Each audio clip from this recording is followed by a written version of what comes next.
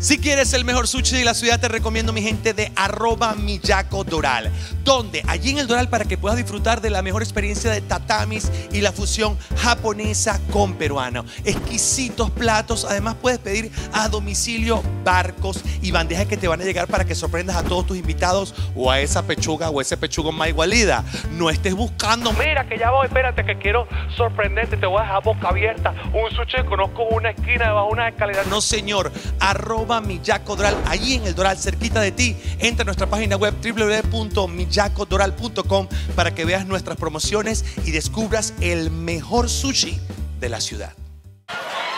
Cuando ustedes vean esas muchachas, muchachas de licra suelta, se ponen unas ropas que uno dice, pero no te das cuenta, mi amor, la barriga de tambor urbano que tú tienes colgada. Porque yo tengo barriga, pero yo me la tapo.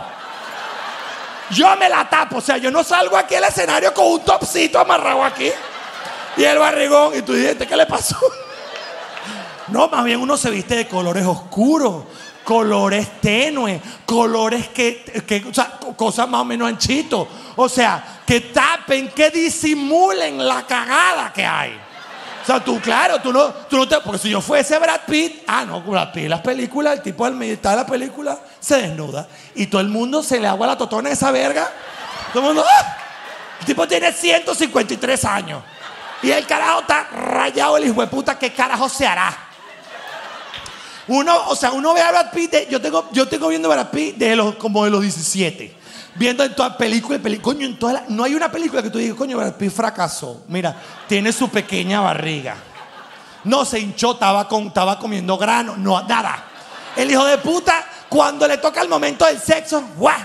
No joda, rayado hasta las amígdalas, la tierra ya, hijo de puta. Si tú eres tipo Brad Pitt, tú te sacas la ropa y todo el mundo, coño, mira, tipo, la punto positivo. Pero si tú tienes un barrigón, uno se pone una carpa un forro de lavadora, un Soledad Bravo. O sea, tú te tienes que tirar un modelo de eso.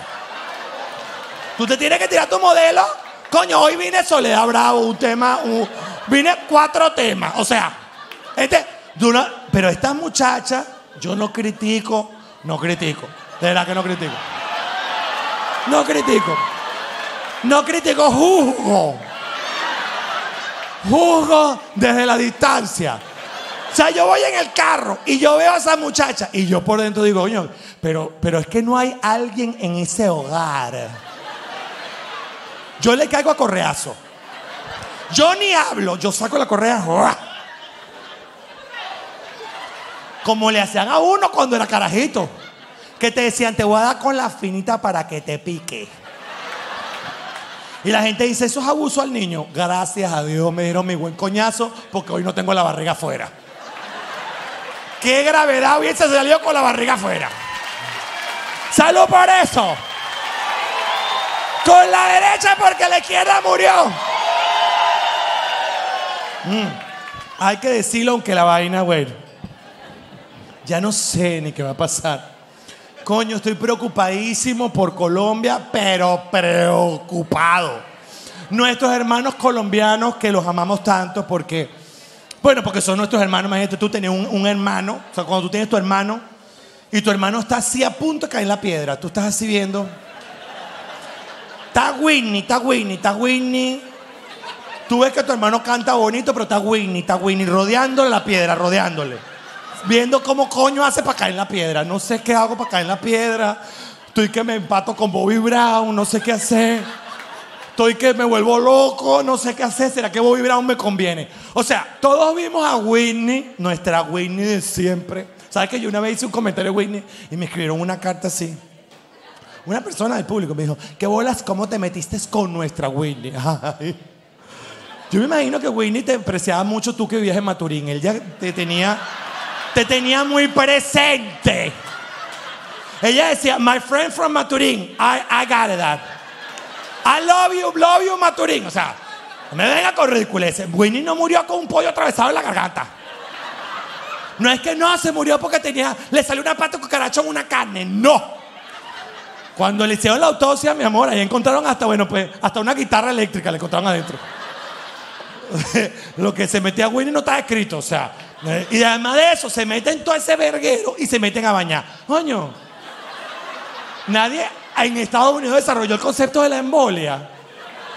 Porque a uno le decían de chiquito, yo me acuerdo que uno cuando bajaba para La Guaira, yo soy de Caracas, y yo cuando íbamos a, a- a los balnearios, como dicen en Europa, cuando vamos a los balnearios, íbamos al balneario de La Guaira, íbamos a una playa que se llama Marina Grande, arriba Marina Grande, íbamos a la playa Marina Grande, entonces mi mamá iba, siempre iba como con dos amigas más, todas mujeres divorciadas, con aceite de coco en mano, para broncear sus carnes los domingos. Y cada una tenía sus hijos respectivamente, frutos de un gran divorcio. Porque yo nací en la época del divorcio. Entonces todas esas mujeres, ese hombre es un huevón. Es un huevo, es un pelele. Arrecha soy yo, chico. Yo me crié con eso. Yo, uno oía, uno, uno, uno haciendo la arena, uno oía. Dios mío. Esta mujer está arrecha. Arrecha soy yo, chico, arrecha soy yo. Que mi mamá ese chaparro. Se le acabó el pan de piquito. Agárrate ese trompo enrollado en la uña. Todo eso eran los dichos de nosotros. Imagínate tú que decirle a un cubano, agárrate ese trompo enrollado en la uña. Niño, ¿qué estás tratando de decir? ¿A dónde me quieres enrollar tú a mí? Te puedo enrollar yo a ti en otra cosa. Nosotros íbamos para la playa. Y claro, uno clase media, baja. Y entonces mi mamá llevaba una cesta. Una cesta para la playa. Porque no es que. Porque uno veía como el gordito al lado de la familia de al lado le compraban un plato así con un pescado frito y papitas fritas. La, barriga al gordito le salía desde aquí. De los paranasales le salía la barriga. Y uno que estaba seco porque estaba anémico, a mí me daban emulsión de Scott. Yo agarré para que agarre fuerza. Y me daban guampole, guampole. Eso, la gua- guampole era una nota, te lo podían dar con hielo, era como un Bailey. ¿Qué bebida tan desgraciada? Para el que no sea venezolano es para que le... O sea, es, un, es como un Bailey, eh, así espeso, sabrosito. Una bebida satánica que le dan a los niños de los 80. Pero mira que sobrevivimos hasta el COVID, cállate. Punto positivo para Guampole. No joda. Ahora yo no sé qué clase de vitamina le dan gomita, ¿me tú? Gomita y CBD. Otro COVID aquí no aguantan, esto no aguantan. Porque yo tengo el guampole metido en el ADN. Yo tengo la emulsión de Scott en la grasa de la barriga. Porque la emulsión de Scott, uno, eh, yo, estaba, porque uno no comía, ¿sabes que Yo, cuando uno está chiquito, yo no sé por qué, yo quisiera que volviera esa época. Cuando uno no tenía hambre nunca. Yo, Harry, come. Pero ¿cómo que no tienes hambre, chico? Yo quiero jugar. Pero te vas a desaparecer. Come. No te paras de la mesa hasta que no te termines esta vaina. Come. Y me ponía la correa en la mesa.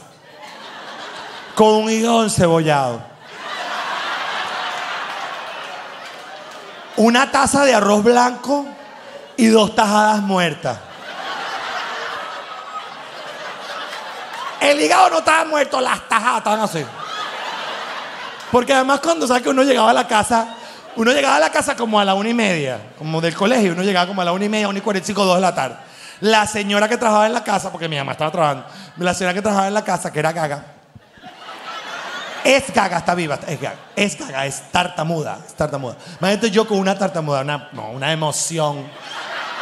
Era un, como un roller coaster, era una cosa, era emocionante porque ella trataba siempre de hablarme y yo me decía, me, me, me, me, me.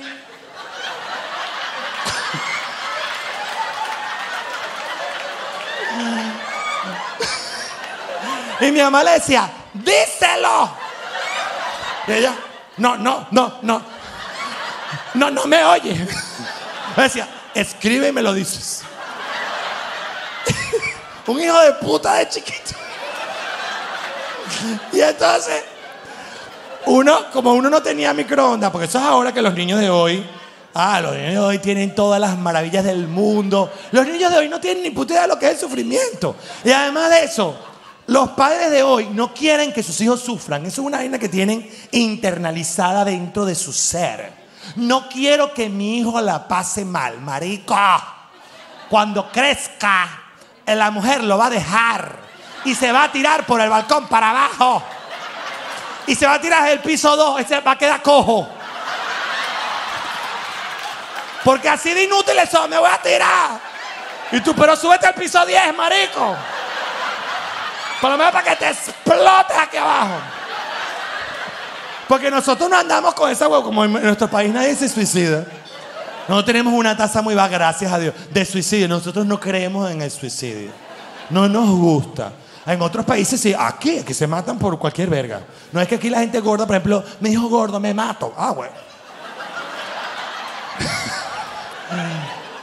Ah, imagínate tú que tú le digas a tu familia en Venezuela, me dijo gordo, me mato. Ah, bueno. Mira, gordo. Si te vas a matar, me haces el favor y no me jodas el jardín ni la planta baja. Vaya y mátese para la avenida. Que no me vas a joder aquí la casa. Y el gordo, coño de la madre, no me dejan ni matarme. Ah, no. Porque se me va a para dónde, que me, me va a joder las escaleras. No, señor. Mátese para allá, para la avenida. Si usted siente que usted está aprendiendo inglés poco a poco, paso a paso, y ya usted tiene 15 años aquí en Miami y no logra salir y defenderse después del Doral, yo le recomiendo que empiece a tomar unas clases con nuestra gente de arroba USA. ¿Para qué?